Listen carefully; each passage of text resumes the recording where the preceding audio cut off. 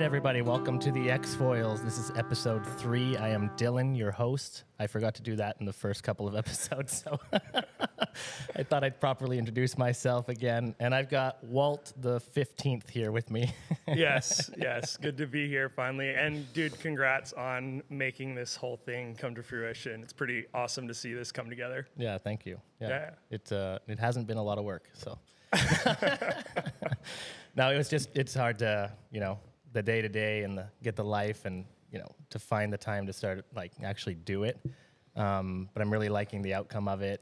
Uh, episode three in the books now, which is going to be nice. It's awesome, man. Yeah, And uh, coming out with a bang. I mean, obviously, look at this setup. Yeah, Pretty- it's cool. Pretty, pretty sweet. you know, sitting on some inflatables. We got the mics. I got tunes. I would say the inflatables are probably the the, the, the lowest tier of.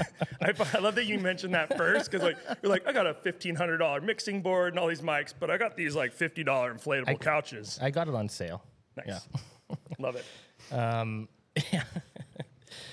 um, so, I mean, we've been talking about this for a while now.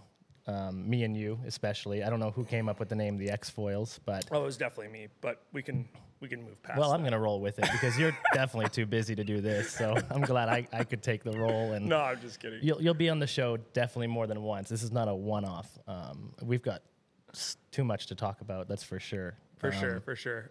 Your water sports journey is super interesting, and uh, I'm a big part of that. Yeah. Yeah, you're a big part of my journey, which is really interesting because you were kind of onto the foiling and getting a little bit crazy about it, and you pushed me a little bit more into it. So I don't think if you were around, I would be as. I mean, for sure, the time would come, but I think you kind of, you know, pushed that role a little bit and that that momentum into this foiling world and trying to find the best kit and, and like every kit that you had, I had in the shop. It was kind of like.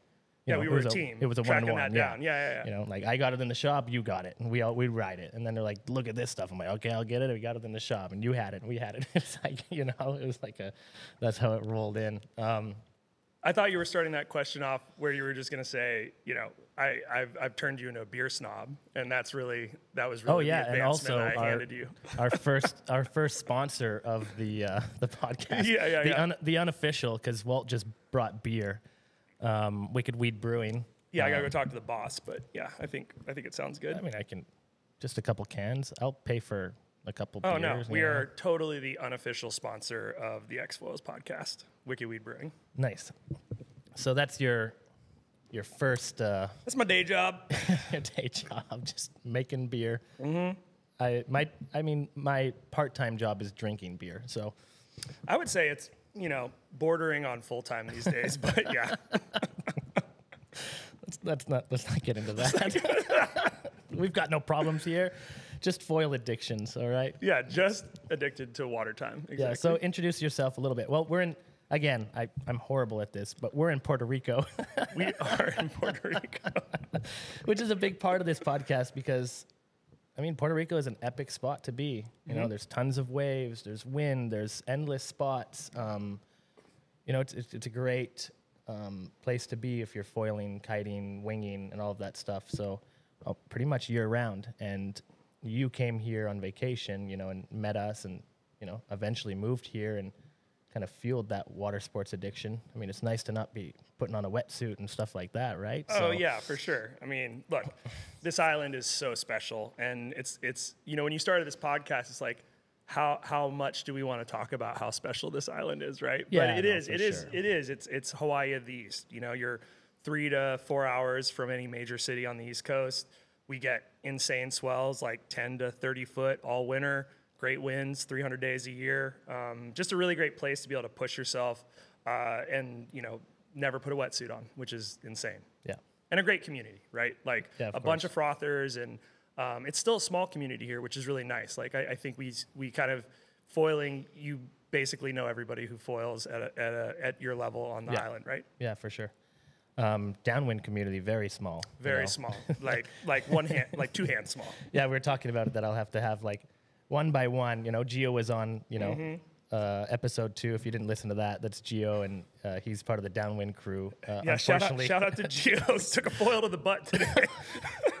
he's like currently sitting in the hospital with a cut on his lower buttocks, which is that's a bad spot What a great be. word to say. Also, buttocks. I know. I, I had to Reminds throw me of that, that uh, that uh, Monty Python skit. You know, I guess I'm showing my age, right? yeah, I like Monty Python. Yeah, I got some of that. Well, that's because you're Canadian. But anyways, Well, um, so yeah, let's introduce yourself just a little bit. Well, just brief, you know, a Yeah. little bit of history because we've got a lot of stuff to cover here on in the water sports world. yeah, I assume I assume we'll we'll dig into history at some point. But um, yeah, my name is Walt Dickinson. I I'm gonna kind of do this as quick as I can. I was born in Montana, grew up in Southern California. That was where like I found the water. Um, I was growing up in LA.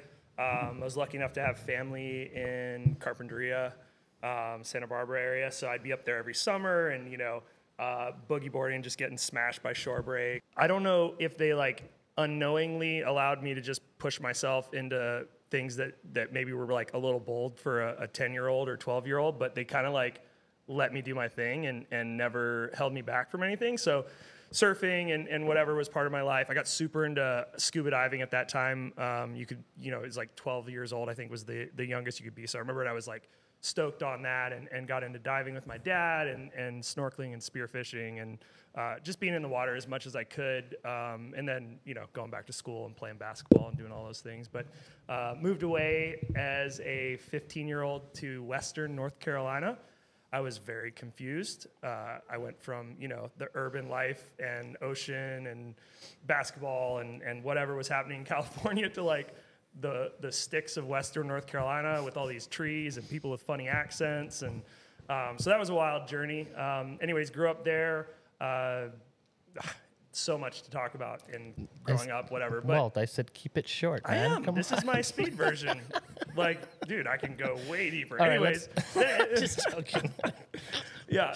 Uh, anyways, then then basically got into uh, played basketball, went to college there, got into rock climbing after I dropped out of college because that's what you do, and and then traveled traveled the world climbing for like five six years, um, and then came back, decided I had to start making some actual money instead of just trying to guide because as we know, there's not a lot of money in guiding, whether it's kite instructing Yeah. or rock instructing, whatever. Yeah. Um, great lifestyle, but doesn't really get it done. So I, I came back and um, started my first company, which was a uh, gutter cleaning and roof maintenance company, and, and that worked great seasonally, so I could climb.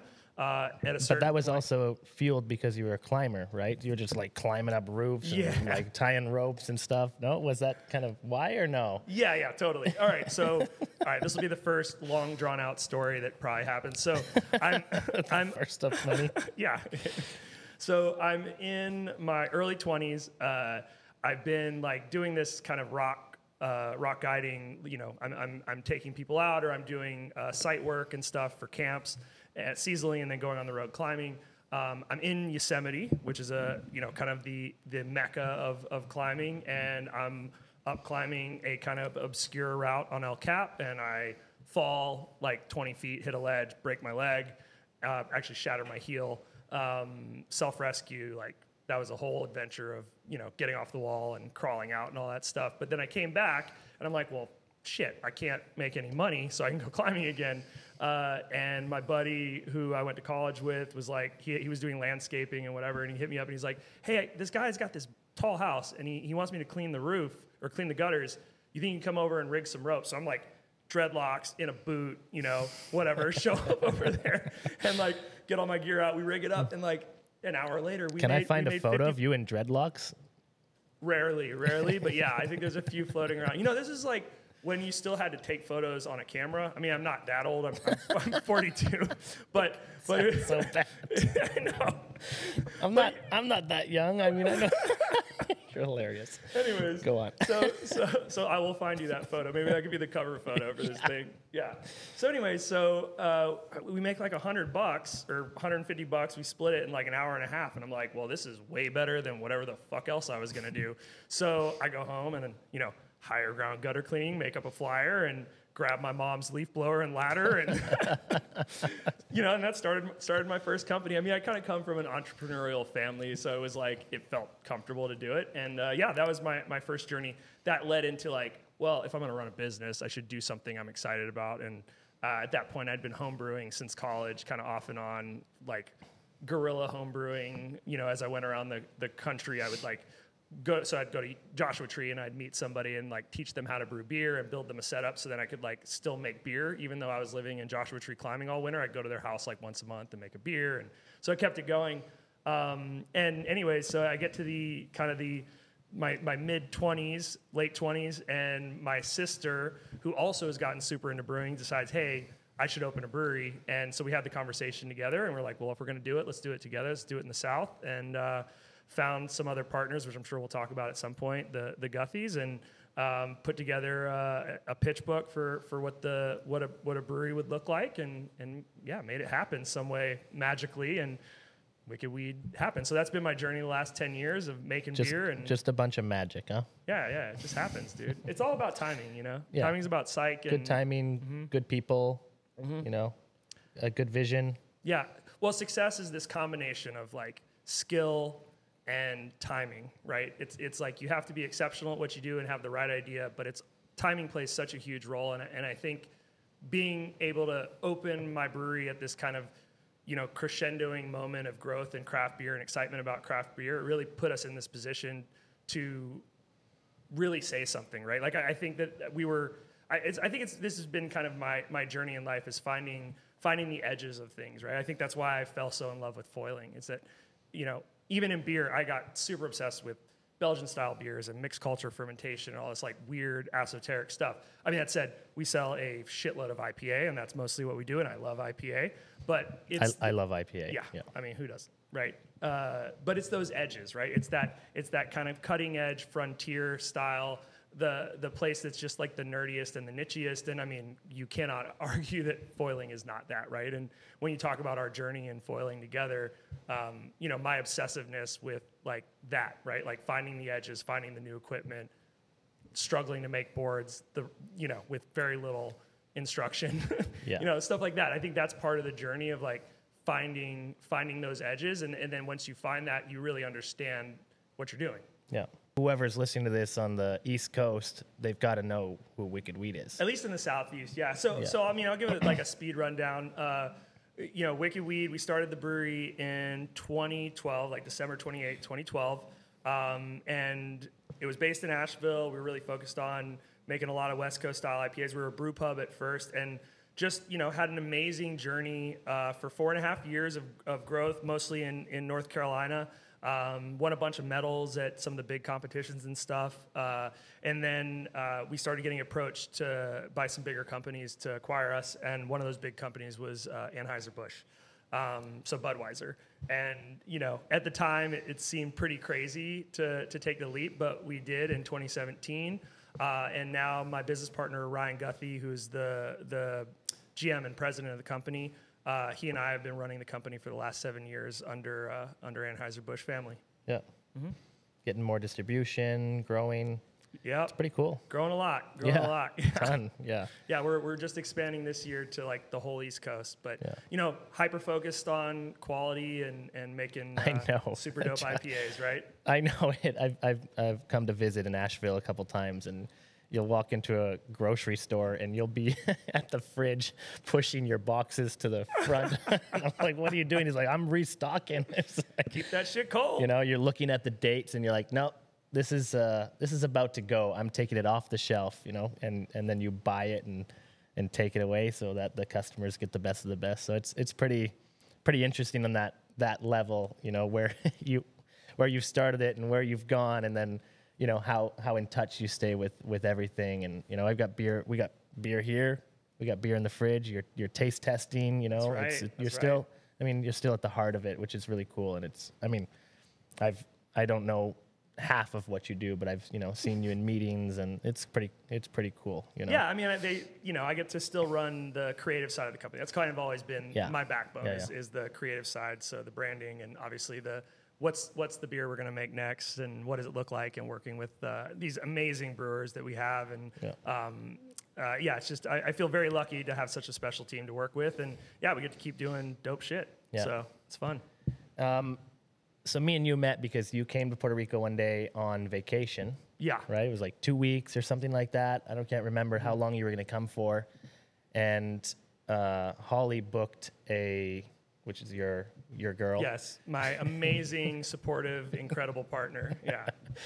Um, so she booked the hotel numero uno, Mm-hmm. right, where we had the kite school and what we were setting up. It was very much in the beginning, and she booked it because there was pictures of kites. Yeah, yeah, we saw the kites on the beach in the the. I was like, well, this will be good for day one. Um, yeah, showed up at your place, and literally like two months later, we moved here. So, Yeah. Well, you you planned a what? Oh, a 10 day trip, and we stayed three trip. weeks. Stayed Yeah. for like three weeks. Yeah. Yeah. I remember you guys because at that at the beginning, me and Shadi were Uh, still. of course, you remembered us. I mean, come on. I just I remember it very vividly. Of course, yeah, yeah. we spent a lot of time together, but it was very much in the beginning, and we knew everyone that was staying at the hotel and who was coming to the restaurant. And I saw you two days in a row, and then you had a kite board, and you had you'd been kiting on the beach, and we approached you And one he saw evening. me. He was like, "This is a sucker. I can Yeah. sell this guy a lot of gear." Anybody. no, but I saw you with your kiteboard, and we like sparked up a conversation, like, "Oh, how's your stay?" and "What's up?" It was like a romantic evening. You know, you guys were on the beach. It was after sunset. It was, and and we hit it off. And the next day we hung out, and you know, just after that, it was just. and then you were like, "Why do you suck so bad at kiteboarding? You should buy more gear and get better at this sport." I was like, "Uh, I don't know about that star kite. You know, you might need something else." you know? hey, man, you gotta you gotta go through some gear to get to the No, for sure, hundred yeah. percent. Yeah, everybody does. Um, I love that star kite. yeah, right. um, yeah, so that was it was really cool to you know from the beginning that you came in, we hung out a bunch. You went to the West Coast, and you stayed for I guess because your kite level wasn't that like Oh yeah, great. I was not there. Um, the spots over there are not super beginner friendly. So you went over there for a couple days, and then you came back to San Juan, right? The plan was to stay over there for the rest of your stay. Which is funny because now I live exactly where I, know, went. That's where I was going. Because now, now you're like, I can't be in San Juan, and you're like over exactly where you went when you were here on vacation. I don't know. What is that? Five years, six years ago, five years ago. Yeah, five years ago. Five years ago. Yeah. Yeah, no, I just live at Shack's Beach and get to be in front of you know Mike Leeson and see Nick and those boys out there ripping all the time, which is obviously super inspiring. I think I think if you want to be into stuff, you got to be in the spot, right? Like being around talented athletes and people who are progressing and pushing. Same thing with beer, you know. I I, I mean, I, I incorporated myself into that niche community of folks who were like hyper focused on pushing limits, you know, pushing things forward and. I think that's what foiling gives me. And then this island, I think it gives it to me in abundance, right? Like I think you have Lift. I mean, one of the iconic brands. I mean, the backbone in a lot of ways of, of, of a lot of foiling. Um, I mean, they've been doing this stuff forever, right? Yeah. Since the beginning. Um, and to have that in our backyard, and I think the culture that builds is really special. Yeah. Yeah. It's a very cool, very cool brand and good people behind it, and But dude, it was a journey. yeah, yeah, for sure. Um, what was the when was the first time that you foiled? It was on a kite. Oh yeah, yeah. So, so I mean, I came to foiling from kiting, right? And um, uh, which is which is a great way to get there. I think I think there's always like, how do you get into foiling, right? Foiling's. if sorry, I'm adjusting my mic like 50 times. Yeah, here yeah. you You're just anything. very uncomfortable there. Well, you should be sitting on an impact 'cause I'm sitting- Just do it again. on a inflatable chair. I mean, so next step, I we're gonna get real furniture. I don't know. It's nice. I did give you those nice used couches over there. I don't know why we're not using those, but They're not like great. One of them's broken. yeah, yeah. So I so I got into I got into foiling via kiting, um, and again, you know, I just I am innately drawn to the rough edges, to to those places that are kind of pushing the boundaries. Like I want to be doing the thing that nobody else is doing. With okay, so climbing, my climbing career, like I went from. You know, a lot of people get into climbing like, I'm gonna go bouldering, and then maybe I'm gonna go sport climbing in a gym. Like, I never went to a gym. I went bouldering outside. I was like, this climbing's awesome. And then I took a trip to New Zealand and taught myself how to trad climb with a buddy, which is where you're like putting your own gear in and stuff. And if you put it in wrong, it comes out. So, you know, it's a little bit more advanced. And then from there, I saw my first magazine with like a picture of El Cap. And as quick as I could, within like two, three years, you know, I was in Yosemite, like plugged into the scene, climbing El Capitan. Eventually got into speed climbing, which was uh, a really amazing journey where we're, we're climbing these big, you know, these are two, 3,000 foot faces that usually take, you know, anywhere from two to 10, 15 days to climb, depending on the route. And um, I got into this style. It was really, really peaking at that moment in the early 2000s, mid 2000s, which was speed climbing, and that was doing those walls fast, right? Trying to trying to do them in a certain time, um, which made them very adventurous and and very risky, but super fun. And so I was quickly drawn to all those pieces because again, those are those are the edges of climbing. That's where like shit's progressing, and and I found that super interesting. So I think when I came back into water sports you know, I was looking for some of those same things. And when I saw foiling, obviously, like, it's not really necessarily about risk level. It's more about, like, what is it bringing to you? Like, are you pushing the way you think about things? Do you feel, there's a feeling, right, of doing something that very few people understand that you think is so magical. And I think, yeah. I think foiling kind of gave me that when I saw people, Dylan specifically, like flying over the water. Um, you know, that was a, that was a moment where I was like, wow, this foiling thing looks super cool. So, I think, yeah, as as always, you sold me most of my gear. You got me set up well, with all a, of it. I don't think you have a ever have had a piece of gear that's not from me. I'm sure I have something. I buy no, a lot of gear. No, maybe like I think those jeans you're wearing are from me. They probably are.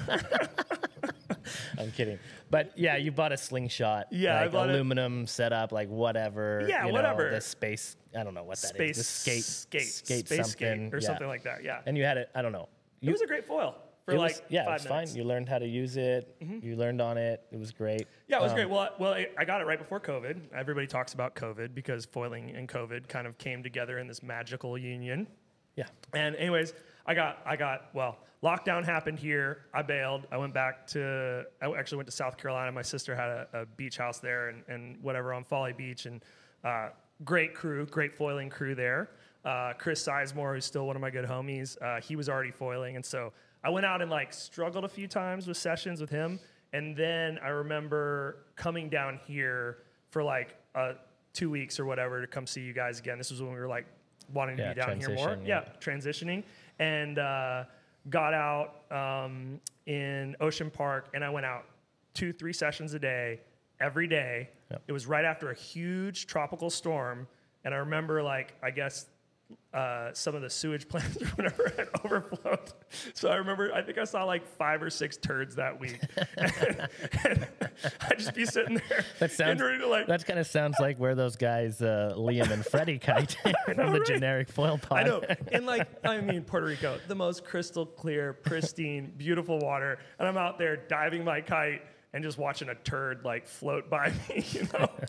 Because I mean, if anybody's if any of you have learned to kite foil, those first few days or first few whatever, you are drinking a lot of water. I yeah. mean, you're getting just face plants and just getting drugged through the water. So, anyways, that yeah. was really where like I was able to fly in a meaningful way. Like I was able to do it a little bit in Charleston, but there, like I, I got it figured out. Right, I was jibing. I was I was able to do all the things. Yep. I was able to finally foil, and uh, yeah, I mean, I never looked back. Like I put basically the surfboard away my twin tip. Well, the twin the twin tip you put you put far far away. Far far. The away. surfboard you kind of kept. I can you know, keep the surfboard. You're right. In between. Because you know, yeah, because there's some good swell and. Um, where you live on the west coast, it's really ideal for it as well when it gets big. Mm-hmm. And but now you don't do it at all, although you should. But then you're just you know you gave away all your stuff. yeah. Well, when the kites get three years old because you haven't touched them, it's time to let them go. Yeah. You know.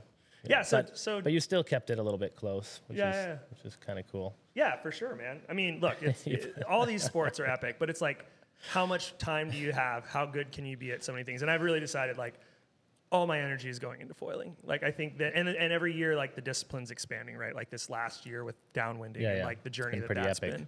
So so yeah, so kite foiled a bunch and um, watched you guys get into winging, and then you know made the journey into winging as that sport was developing, which was well, really you were, epic. You were there that when my first wing arrived. It was a slingshot. Oh, I remember, yeah. With the inflated trailing edge on the back. I bought a I bought one, like a 4.2, and I was trying to learn how to wing on that that space skate slingshot foil with a 30 liter board, the my kite foil board, and I'd go out there and I'm like, well, it's foiling. I could go out and 13 knots. I'm a great right? foiler. I can I just, was just do like this. Yeah. for hours walking up the beach. I have a photo of me like walking up the beach with this weird carbon board, the four two wing and like 13 knots. Like I'm gonna get this one day. it was it was impossible. Bro, I definitely don't forget because I look fondly back on how much you sucked at that moment You know, it, it gives me peace inside because you progress so quickly with all these things. So it's important for me to remember that you are human and, and you suck at things too. Oh, But yeah, I, yeah, I can, yeah. I can definitely suck. Yeah. Yeah, long journey with winging, but man, winging, wow, what a sport. You know, like it really just opened my eyes. All of a sudden, I was detached from the kite lines. I was able to like just flow, you know, and, and it pulled in all of the backcountry snowboarding and all the, the other board sports I'd done like into one place. And, and it's kind of funny, like I often like to people who don't foil, like snowboarding is kind of like a powder day is, Yeah. is very similar to that feeling of foiling, right? Like big carves and just that, that feeling of just cutting with no resistance. If you don't know how to foil, and you don't foil, it's it's kind of hard to explain. Mm-hmm. You know what it's all about and how it feels, and you know people come into the shop all the time, so you're trying to like explain it to them, like what is this sensation of this, you know, foil, Yeah. right? The electric foil isn't a for us. It's a great way to get people into the sport because people come in they they want to learn how to do something Mm-hmm. like kiting or winging or whatever, and the foil is the electric foil. You know, the e foil from Lift is amazing because we take them out and I would say typically everyone gets up and starts riding and foiling in 30 minutes. Mm-hmm. Can you imagine like if if that was available? I mean, I guess it was available back then, you know. I assume the e-foil was available when you started the wing.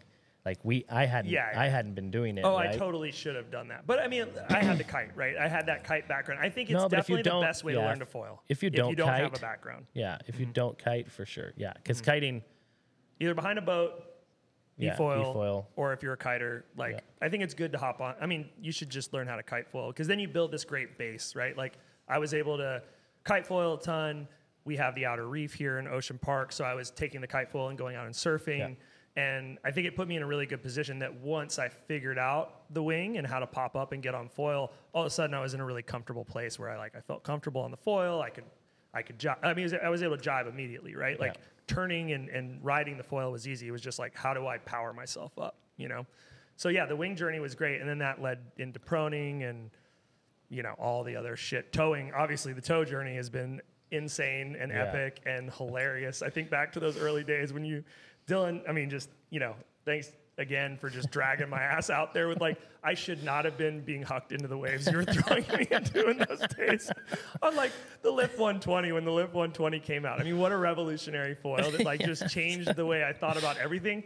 I had no fucking idea how to ride that that foil. and we were out there towing on it, and I'm just like getting nuked, like flying around, getting Yeah. just pounded in the sets, not knowing what I'm doing. But you know, that's You know how, to- you get here. You like how you, to you- swim.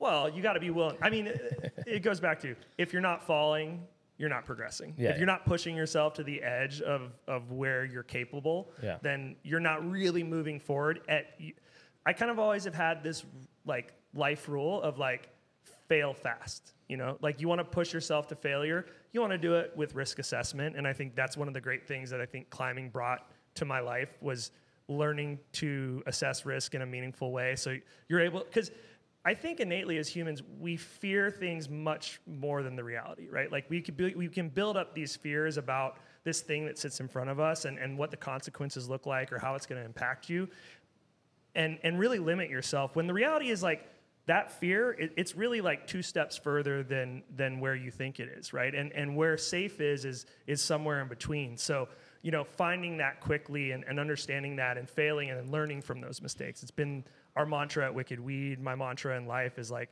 fail fast and learn from that mistake and don't fucking fail again right because like repeated failure that's where that's where you're you're you're making real mistakes but how you progress is like pushing yourself to those limits you know Yeah.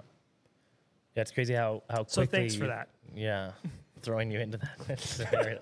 But I, I mean, I wouldn't take anybody anywhere that I felt uncomfortable. You know, of course, and that you couldn't handle. Yeah, So, yeah, yeah, yeah. No, I, I mean, yeah, I think it was i again, it was a nice thing with my climbing background, like and comfortability in the water. Like, I don't know, waves.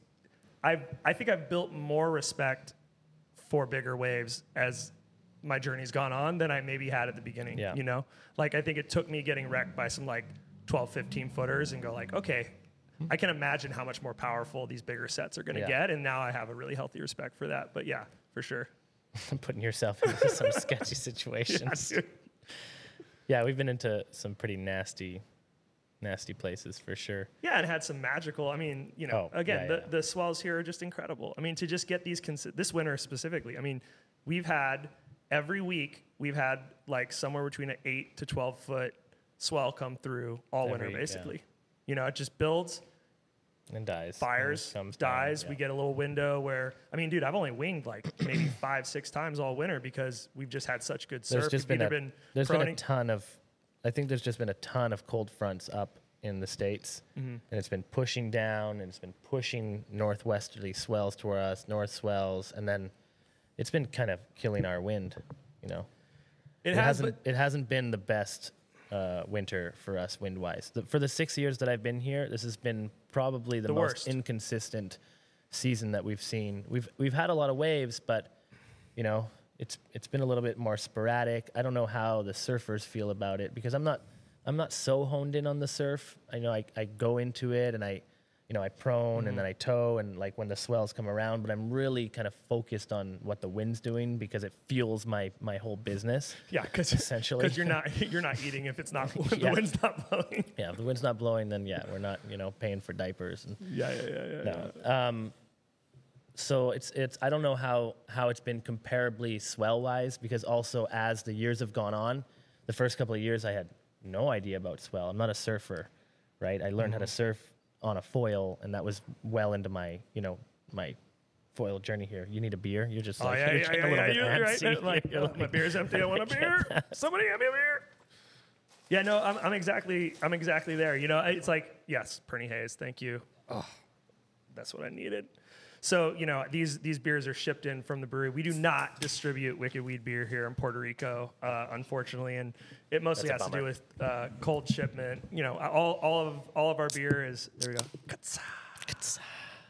All of our beer is um, cold stored all the way to retail. It's like one of our differenti- differentiating points. Uh, that also maintains like the freshness and makes sure the IPAs taste the way we want.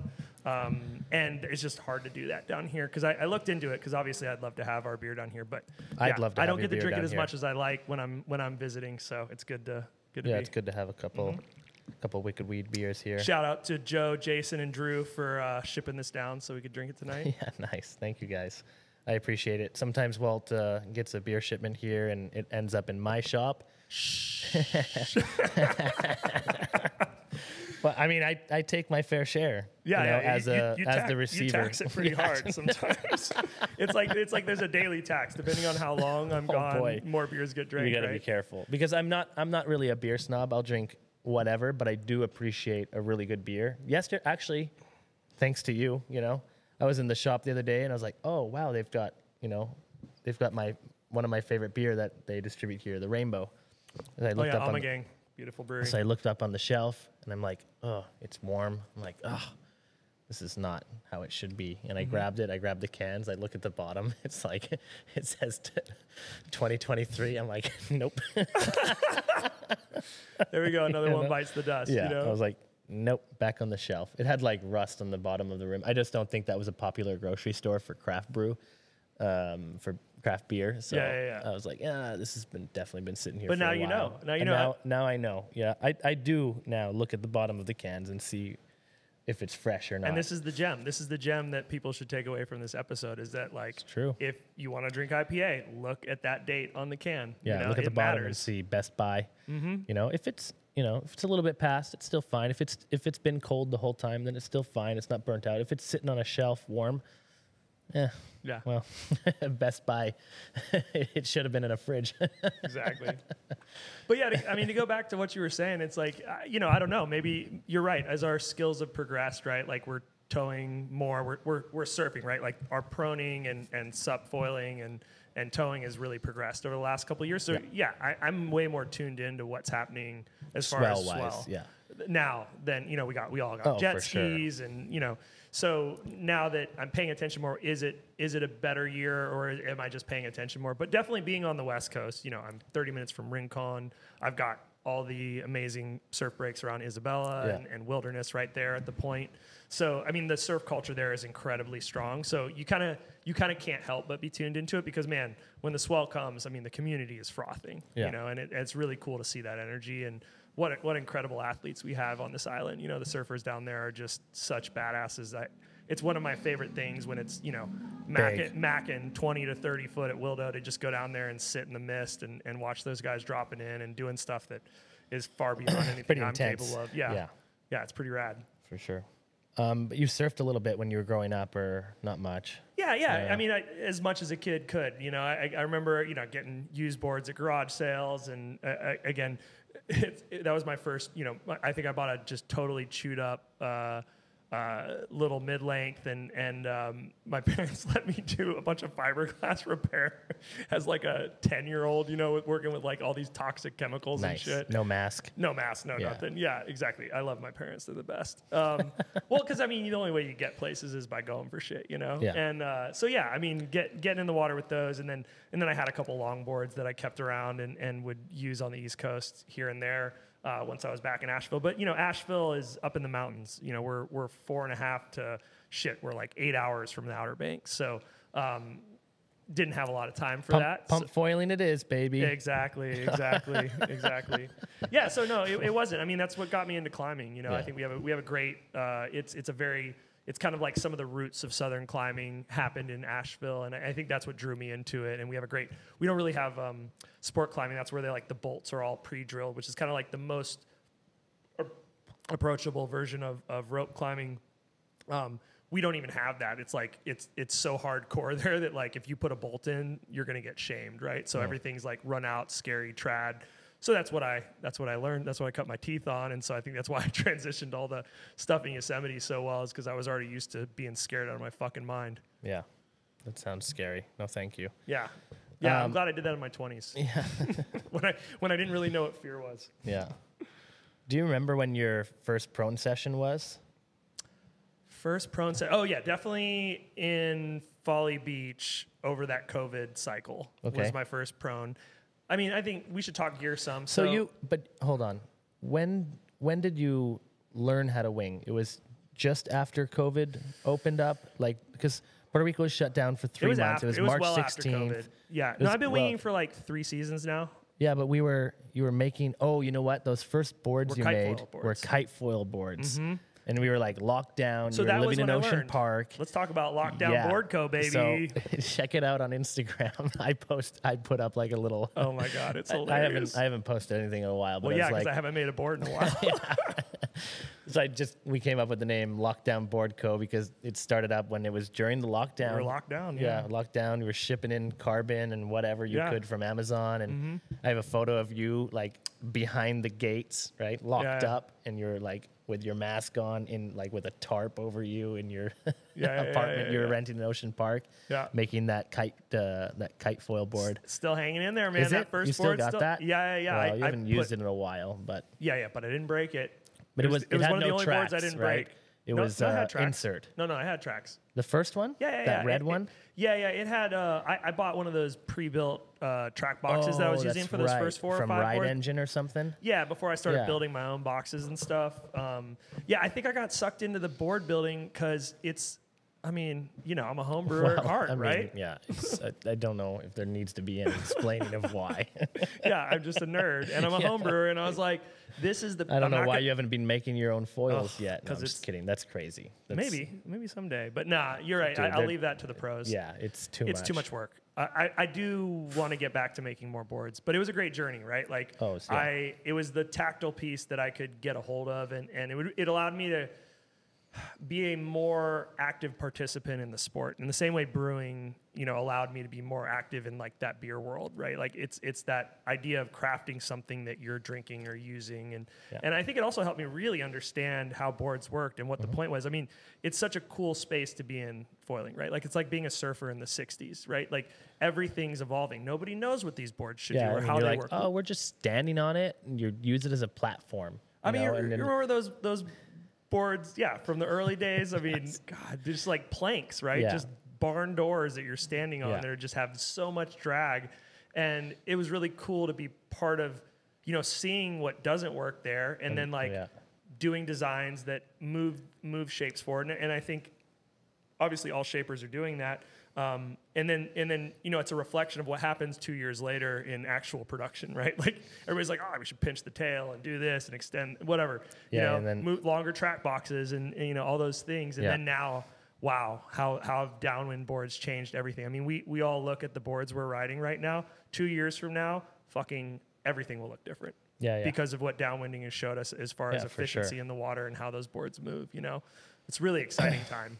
Yeah, it's interesting because I mean, it depends where you are because the low, like if you're in Hawaii and or you're here or you've got like a, sh- a shaper that's experienced that's close by, then you can start to experiment, but it's expensive, right? Depends who it is. If you're doing it yourself, which you have, you know, you haven't done it in a long time, you know, space and time and Well, you I bought the shop, right? Like it just, Yeah. yeah. I lost my space to work Yeah. like a year ago, and um, I've been too busy to like get the new shop set up. But I mean, I can't wait to get back in the shop and shape, especially because like it's it's been really cool to take a break because instead of you know boards that I could make, I was shaping and riding, and, and I I've been really happy riding those boards.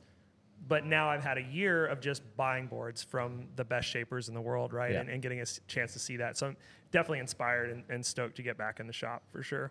Yeah, because then you see what's available for the general public takes, I don't know, takes six months, eight months, a mm-hmm. year before they can start to get on. They like, okay, we find a design, we solidify on something, the construction, get that over to a factory, start to make it, quality control, start to get the retailers to do it, mm-hmm. start to ship it out, and then and then they start to get it out to the world, and then it's too late, you know. And then we're on to the next, right? So winging has been it's been insane to be part of the beginning and and see the development mm-hmm. and where it's going and how it's been moving on and how Well, how you can't downwinding, you can't be.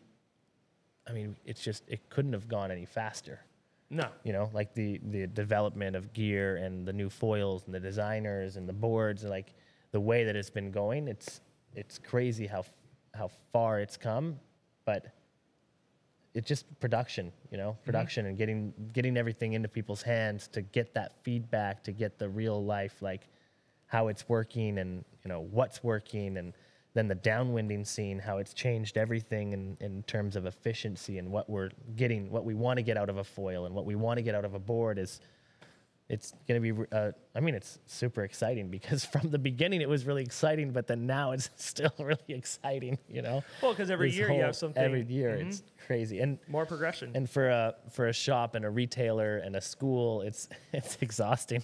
Yeah. Well, and that's the joy of the sport, right? It's Yeah. like this this kind of never-ending progression. And I think like, you know, maybe that's this is my this is my third sports journey, right? Like I, I played basketball.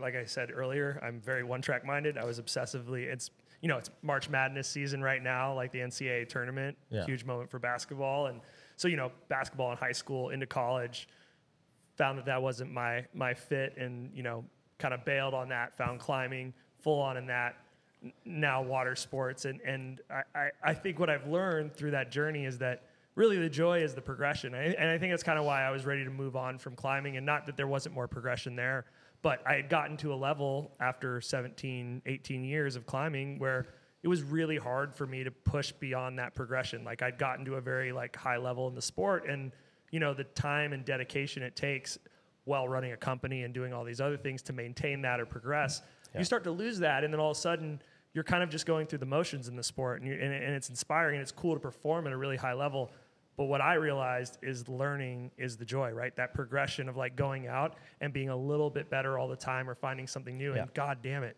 like foiling has given given that to me in, in like more abundance than I Yeah. could have ever imagined. And every year I get a new sport to suck at. Yeah. You know, and that's so cool. Like downwinding, oh my God. you know What a journey. yeah What a journey. I enjoy that also, you know, but I, you know, I always want to be whatever I'm doing and whatever I'm selling or whatever, you know, I'm into or teaching. I mm-hmm. just want to be the best at it, you know? Mm-hmm. So I, I take it like head on and, and make it my mission and find as much time as I can to get on the water and, and progress my skills. So. And it's really cool that you feel that way, knowing that you will never even be close to the best at it. You know? Oh no! I mean, there's no- not. I mean, not even close. At at the amount of time that I have to get on the water versus everything else I have to do, running this company and doing whatever, mm-hmm. and trying to find the gear and source it and sell it and making sure you have the best foils available. Walt, It's true. It's it's a hard job, you know. So I'm I'm always happy with my level is still improving and I'm I'm happy with the progression. If I could spend full time on the water, I don't know. I, I don't know if I could be much better. Yeah, yeah, yeah. because the the level out there is insane. And like those guys, like when we went to the the the race, the foil Cocoa race Beach, yeah. yeah, it was like the level is just crazy at what these guys are doing, strapless and strapped and backflips and three sixties and it's just out of this world at like what you can do on a foil. And I, I don't even—we're just tip of the iceberg, right? Yeah, I don't even what- know what if the I wanna- possibilities are. Mm-hmm. I don't know if that interests me as much as like what I'm doing because of like surfing and doing the downwinding and trying to get the runs in and trying to figure out the mm-hmm. sport and trying to figure out our spots, right? Trying to figure out our waves. So mm-hmm. it's an interesting everybody has their own journey and where their progression is and where they're going with the sport and how they want to push it. Like Arlen, for instance, right? We we started to learn how to downwind together.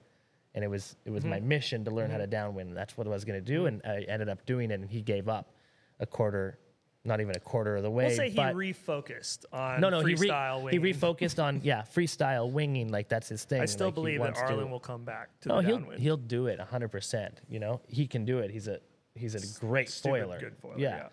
and um, yeah, he didn't give up. He just yeah, definitely refocused. Good good good word choice there. You know, I'm just trying to not be- make him. Yeah, you know, don't cry, Arlen. no, he knows. He knows that I, I give him a hard time about Oh, yeah, that we whole give him thing, lots of shit.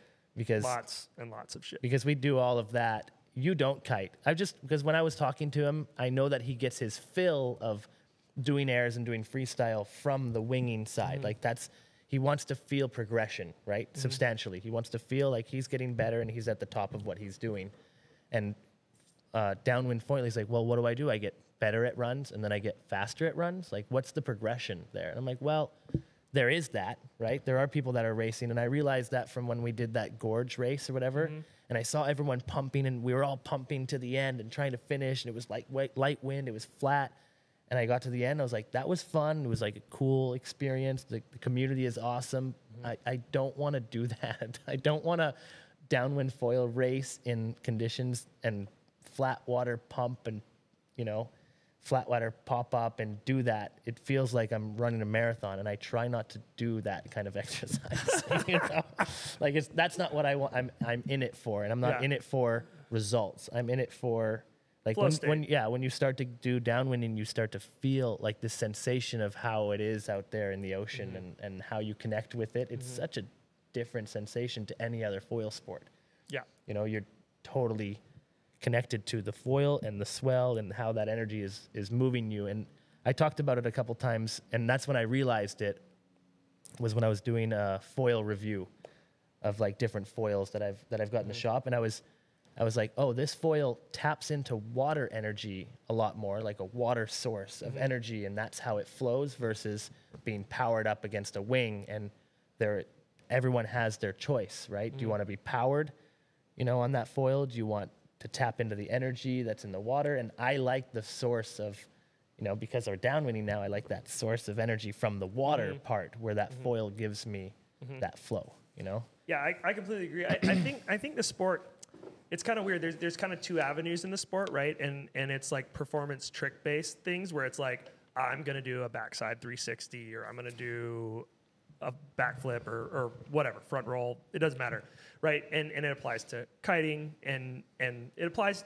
you know from your background of, of like park snowboarding and things like that, right? Where these like tangible goals of like I'm gonna do this maneuver until I can send it, right? And and for some people that's a jibe or attack, right? Yeah. And for some people it's a backflip. Um, and now for some people it's like a double backflip, which is insane, right? And um, I I think then there's like the flow state side where you're really working on you know how and, and I guess there's still tr- you know it's it's a, it's a different kind of measurement of a trick, but like you know, when you're trying to make super hard bottom to top turns and, and really like working the wave in the right way and, and whatever. For me, those are the pieces I'm gravitating towards again because that's what brings me more joy is like the flow of foiling and what it gives me in that like um, I think okay, so climbing gave me this really great thing, which I you- can't. I can't hear any stories about climbing anymore. I, I well, just I just I find so many I find so many connections, man. Like there's so many connections between all the things you do you. in, in- any sport, right? Like I you- that that that hyper focus and flow that happens, and I, I know that's uh, Eric's thing over the progression podcast, but it's so true. It's like Hmm. it is the joy, and, and like climbing. th- There's like a few places that get you there, right? Like you have to have consequence. And consequence, consequence helps put you in that flow state. And like I got that in a really meaningful way from climbing, but I had to work so hard to get there, and it was so short lived. Yeah. Whereas foiling, somehow, like obviously the consequence is just falling off my fucking board or cutting your ass like Geo. or cutting your ass like Geo. Uh, but that's more of a taco consequence. Yeah, yeah. yeah. um, I saw you taco today. It was Did I taco today? Yeah. Yeah, I probably. Oh, well, we're not going to talk about No, it. No, we're not- we don't there's have to talk about yeah, that yeah, today. yeah. We made a rule if anybody, and I'm allowed to say this out loud without having to chug. If you say Foil drive. you have to chug a beer. it's true. so anyways uh, yeah but but getting into that flow state and right like foiling puts me in that place more quickly um, now Mm-hmm. Oh, yeah. maybe the gratification of that flow state isn't as intense but the longevity of it right like of how long i can stay in that connective flow state and then you know surfing definitely foil surfing towing you know those are moments that like really tie you in that's why i love winging right like you're especially being uh, on some of the breaks I've been able to spend a lot of time on. It's just like you know I'm catching 50 to 100 waves in a session, and and that's allowing me to stay in that place. Downwinding is like the next extension of that, right? Of putting you in that place for a longer longer period of time, and um, you know I think they're just two different paths in the sport that you can obviously bring together if, if you're incredibly skilled and, Yeah. and and then now all of a sudden people are flowing in downwinds and doing tricks and doing all kinds of crazy Yeah, yeah. stuff right Yeah, I, I find myself like in the in the towing, if I'm in the I'm with the right tow partner, the right conditions, you know, it's like early in the morning, like there's whether I'm driving the ski or I'm foiling, I'm in this kind of like in this zone.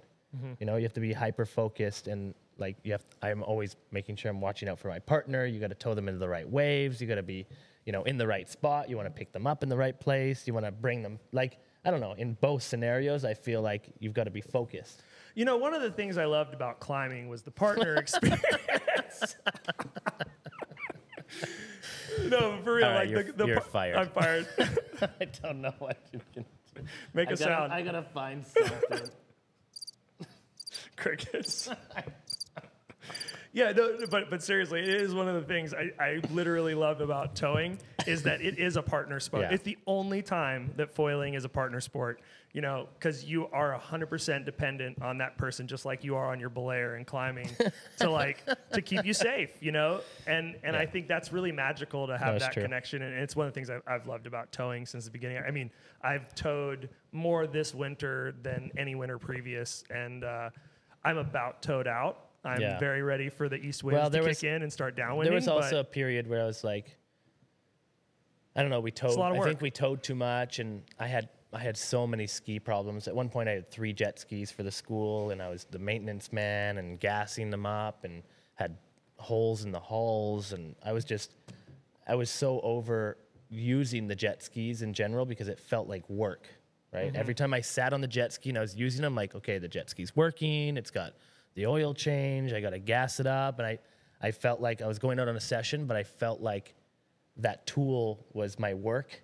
And I don't know, I just had a, like a weird, like uh, for a couple of months, I had this weird connection with towing because those were my work tools. And I was, I've had so much trouble with them and working them so hard that I didn't, I didn't really enjoy towing for a little bit because it, it stressed me out of Well, you using know- those jet skis. great, great way to ruin a good hobby is to turn it into a job. That's all I've ever done. Yeah. Yeah, yeah, Yeah, yeah, yeah. that's yeah. the only yeah, thing me, I know. Me, me too. Yeah, you're like, I love drinking beer. Let's make beer. Let's make a brewery. oh God, now I love riding years boards. later. Let me make boards. Yeah, I'm trying very hard to not fuck this one up. Yeah. and not make it my job, you know. And uh, yeah, no, it, it's very interesting. Like you have to have an interesting balance, and I'm I'm glad that I still have this love relationship with all these water sports that I do because, but it also you can know, do both. you can yeah you can definitely I still do love beer. yeah. And Every- wine. Yeah, and wine. Yeah. Um, no, I think it. I think it fuels it in a certain way because if I didn't love it, I mean, why? Why would you? Why would you have a kite school and a shop if you don't love it? It's not. It's not doing anything. Exactly. it's not doing anything for you. Um, other than like, yeah, if, if I love it, then at least I can stay on top of it, and I, I try to find the trends and what gear you know is coming out and what's what's happening. And I, I, I, I feel like because of you as well that I was in the right place at the right time, you know, and it, and it fueled certain brands, and I kind of merged and I moved and I you know switched to different things, and and it worked really well for me. And uh, you know, like Yeah, don't I, think know, it's like, good. Let's talk. your- let's talk gear, man. Let's get in. Let's your get nerdy. gear, your gear journey is your gear journey is the shop's gear journey. Well, we've been on a journey together. That's our journey. Yeah, Yeah, it's yeah, sick. for sure. So you learned how to kite foil, and you had that slingshot stuff, Yeah. and then we quickly moved on into winging, and then winging became Well, no, the I got, I got thing. some. I got some lift gear. Remember, like first of all, talk about some sexy fucking gear, right? Like the lift. for kiting? Yeah, yeah, yeah. The, the old school classic 175. Yes. Is that what it was? No, no, it was a 170 surf. Yeah, it 170. I don't can't remember. Yeah, 170 surf.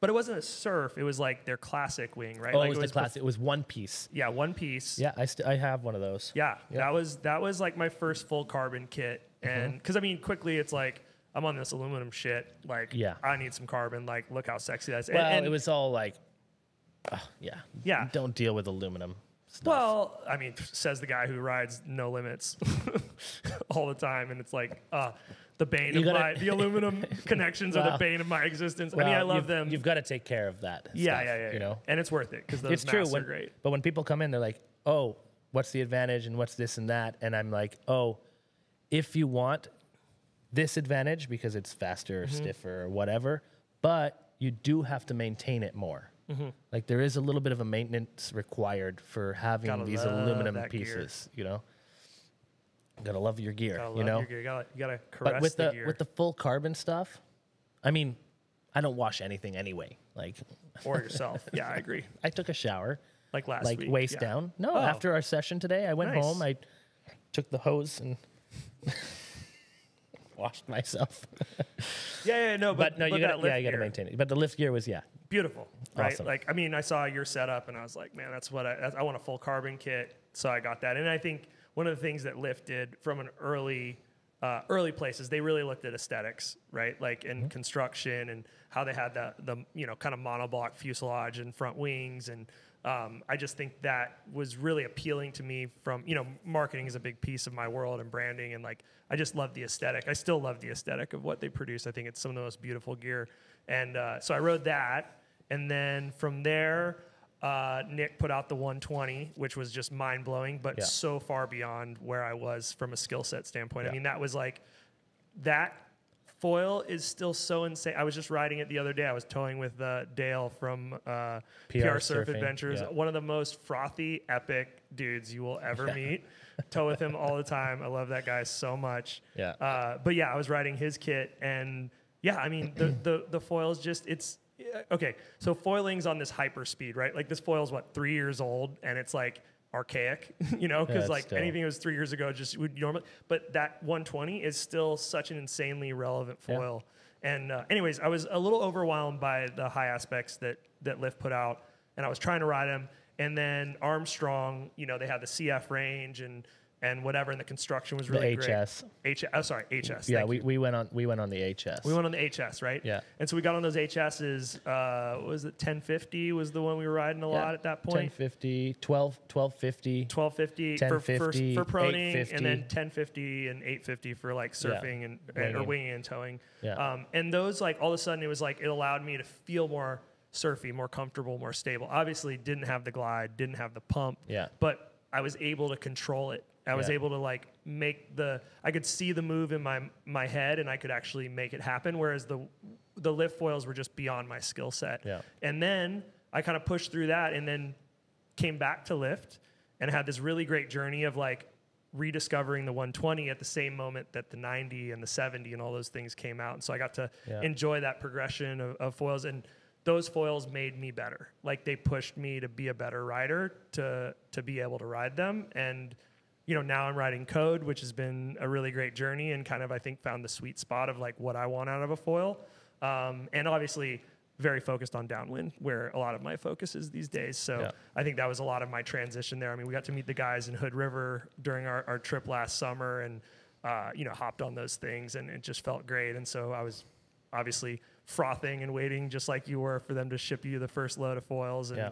uh, been on that journey since. But I don't know. I love gear. I love all gear. Oh, Yeah. Takuma was in there. We rode Takuma Yeah. for a Well, while. So you went on the arms, the Armstrong stuff. We also rode the high aspects, right? That 925. Oh, I forgot the 925. yeah, the 925 was epic, right? Oh, so the epic. 11, I don't know, it was 1125 or something. We it was like their first Mm-hmm. But high that aspect. That's when I 925, learned how to man. Mm-hmm. prone on. That 925 was awesome. That was the, the 725 was.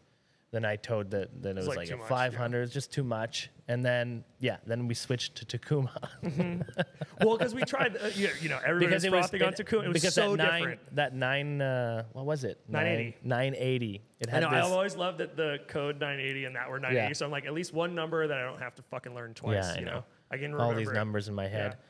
Yeah. that 980 had the glide, it had the pump, and it had the surf. pump and the surf. And I then mean, it, it was had crazy. it had the sharp winglets that went through my hand. Oh yeah, yeah, yeah, yeah. That's Th- a lot of fun. Well, I think we've moved on from like armor piercing winglets Yes. in, in the foil sports, right? Like I think so. things have kind of progressed to where we're like, we probably shouldn't kill people. I mean, yeah, so Dylan's referring to when he fell on the 980. And if anybody had a Takuma in those early days, like it was like the factory that made them and and you know, incredible front wings, horrible connections, right? Like the fuselage and shit was all fucked, but those Yeah. front wings were so good, and the tails were good. The but the wing- har- yeah, the whole thing. yeah, the foils were good. Foils were great, and uh, but it was like it was like it was made in in the mold, and then somebody just took a chop saw and like cut, and it was it was the sharpest yeah, was fucking so sharp. point ever. You could you're like you could put your thumb on it and like, oh, look at these winglets, and you'd like rub your thumbs on the corners, and you're like, wow, that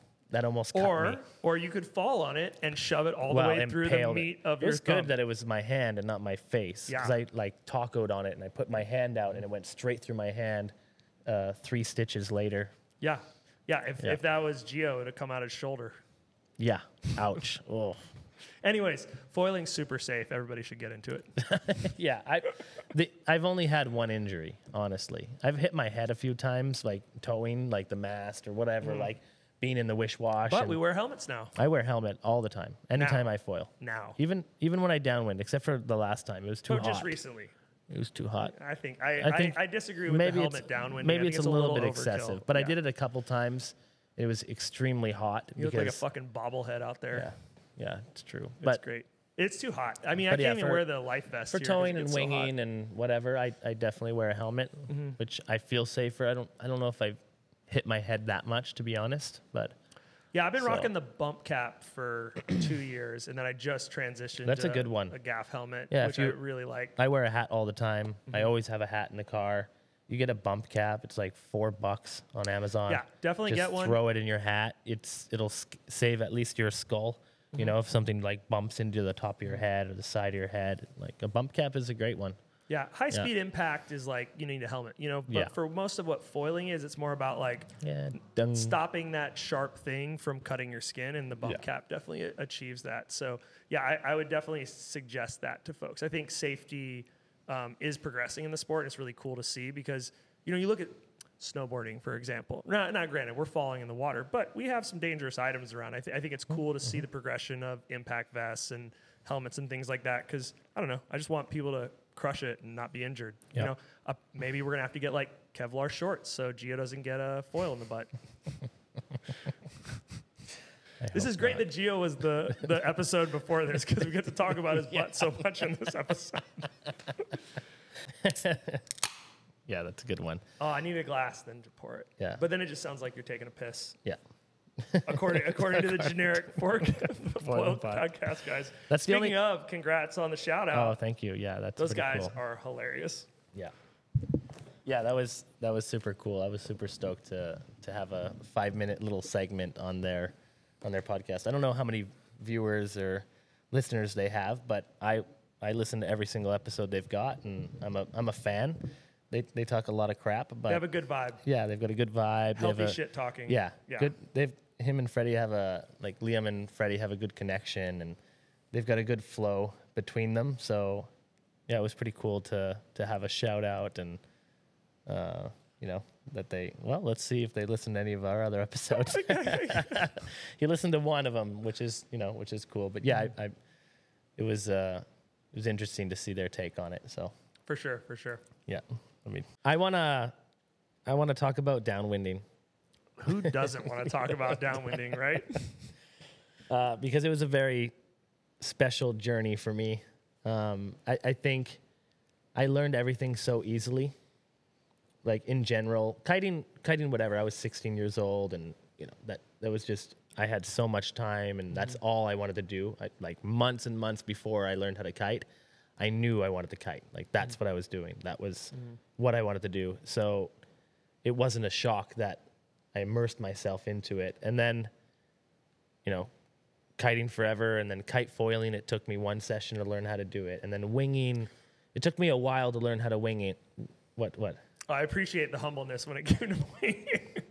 Well, winging, yeah, it took me, it took me a while because I had horrible gear. And even when I had, when I got that like 130 liter um, wingboard or whatever, and the COVID opened up the beaches, it still took me a couple sessions to learn how to foil. And I was shocked because I was, I, I felt like I was such a good foiler because I'd been mm. foiling. I've done foil races. I knew how to tack. I was, I was, I felt like I was really good at foiling. So I'm like, oh, this is nothing. All I have to do is hold this wing in my hand. And mm. it wasn't as easy as I thought. So it took me, you know, a good three three downwind sessions to get up on foil and, and start to feel it out. And mm-hmm. it was a 130 liter board, which Downwind is, winging, yeah. Or yeah, whatever, Yeah. just doing a downwinder yeah, on the yeah, wing, yeah, like yeah. learning how to wing. The I went old, down. the old walk of shame. Oh yeah, I've, I've I had a bunch of those, and you still have those, which is wild. Mm-hmm. Because sometimes people are like, "Oh well, what should I learn?" or "What's easier?" And I, I get that question all the mm-hmm. time, and some it's hard because when you launch a kite on the beach, you feel the power of the kite, and you're like, "Yeah, it's it's enough for me to ride." Or you could mm-hmm. you could tack out, you could tack in, and you're flying the kite. Unless it falls and like there's no wind or whatever, you get dragged into shore break. That's a disaster and that sucks. But if you're flying the kite and you try to tack out and tack in, I don't understand why you wouldn't try. All you do is walk up with the kite and it's done. But winging, you go out there and you're like, you hold the wing in your hand on the beach. You're like, you pump it on the beach. You're like, yeah, it's enough Yeah. wind. And Lit- then you go out and you've got the wrong size foil or not enough literage on your board or not the right size wing. And then there's current. And then you're trying to get up and you're like, I still have horrible sessions sometimes winging. Like you just Oh, it literally happened to me three horrible gear ago. choice. Yeah, we were we were at you know down in Rincon and wind was cranking and Trace was at ten foot and I'm like, this is my moment. I can go out there and wing and I paddled way out and I had my you know 720 and my sinker sinker wingboard, my four meter. Nothing, dude. Nothing. Wind got light. I had to paddle half a mile over, over and then and then walk out over Urchin Reef. It was great. Ouch. You know, so yeah, you're right. It, it's it's not like kiting where you you know the kite's loaded up and you know you've got the power to go do what you want to do. Whereas winging, it's like kind of like it, you know, especially if it's offshore or in any kind of unique conditions that you're trying to get to, it can be very Yeah, challenging. because if you can't launch the kite on the beach, you know there's not enough wind. But you're like, ah, it feels breezy. You know, I'm a, oh, I'm gonna try. You know, I've got, oh, I've got the skills. I've got the foil. And you're like, you go out there and, man, I've, I've definitely gone a couple miles downwind before I've gotten up on foil, and I've gotten up on foil because I am not walking. Back. Not walking back? I am not walking back. I've seen it, dude. I've, I've seen had a couple of those. Where Dylan's um, out there literally trying to get on foil for like 45 minutes, just drifting out to Condado, like out in the distance. And then all of a sudden you'll see him get on foil and make it back finally. But it's just like, and then you'll do it. I'm like, oh, it's good. I'm up on foil. I feel power, and you do attack and you fall, and I'm like, okay, again.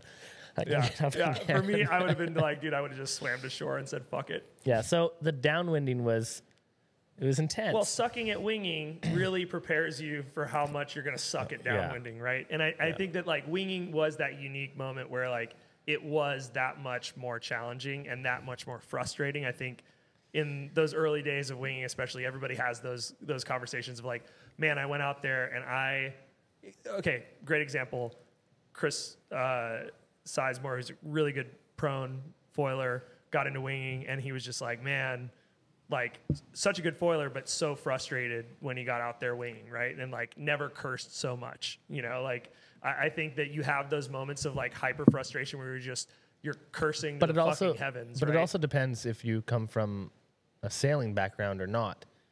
yeah, the like, wind sports thing helps. wind for sports sure. for sure Like, help. Like help- knowing how to kite and mm-hmm. knowing the angle of the wind and knowing where your resistance is and knowing how to tack and where you're like having that awareness makes a huge difference. You know, sailing, kiting, windsurfing, whatever. Going into the to the winging. Mm-hmm. If you have no wind sports at your back, but you're only a foiler, proning or an e-foiler, you know, it's it it Yeah. becomes a lot more frustrating because there's this other, you know, there's this whole other dimension to it.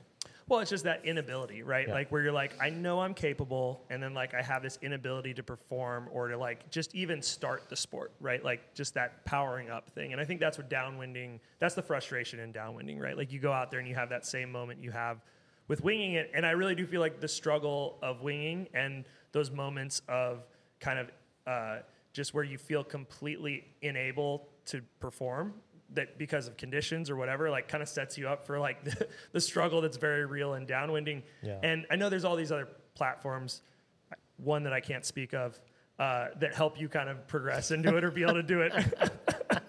do it earlier but you know i think the struggle is real for for a reason and Yeah. and like you have to overcome that and that's part of the joy of the journey is like overcoming that struggle like going out Yeah. there and having six eight ten 15 sessions where like you're barely able to get on foil and then all of a sudden you pop up and you ride a quarter mile and then you ride a half a mile right? And, and then all of a sudden you have this feeling of flow and connectivity and it is wild right? Like just like winging or anything especially downwinding where it feels incredibly impossible and then that right little nugget comes and you pop up and it feels so easy and flawless Yeah. and, and, and, and purposeful right? So yeah i mean downwinding has been a really impressive journey which i'm not even close to the end of right? I, I think Yeah. i'm still just peeking behind the curtain of like what downwinding is going to give me. I mean honestly part of it's been on the west coast this winter it's it's very challenging we don't have a lot of protected coves and and like bays like you guys have over here in, in san juan. So there's like